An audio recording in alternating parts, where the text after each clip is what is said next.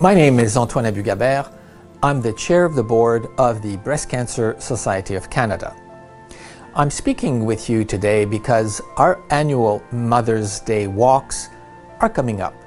And I want you to know what the Breast Cancer Society of Canada is doing to protect the health and safety of our participants while continuing our mission to save lives through breast cancer research during these extraordinary times.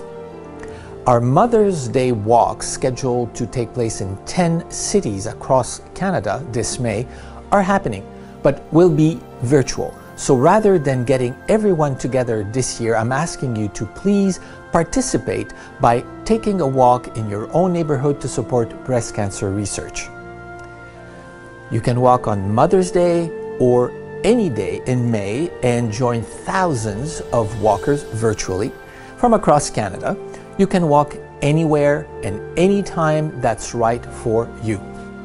I want to recognize Cleo for their tremendous and ongoing support of the Breast Cancer Society of Canada, and I'm delighted to acknowledge our partnership by announcing the new name for the 2020, the Mother's Day Walk powered by Cleo.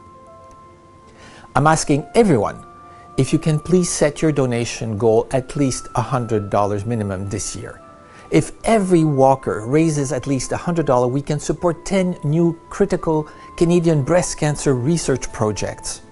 And if you collect more than $100 in donations, we will send you a gift to show you how much we appreciate you.